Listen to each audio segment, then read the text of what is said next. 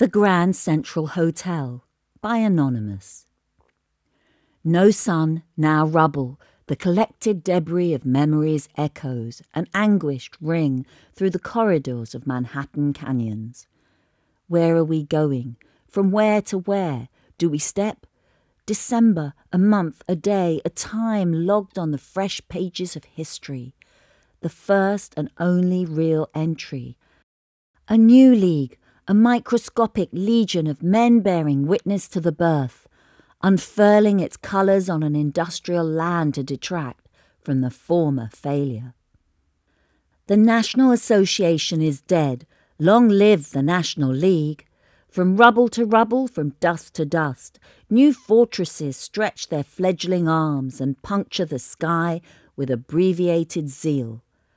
Like so many transients awaiting a derailed train, the others come and never go.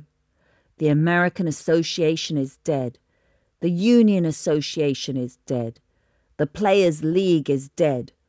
All gone, all dead. Long live the National League.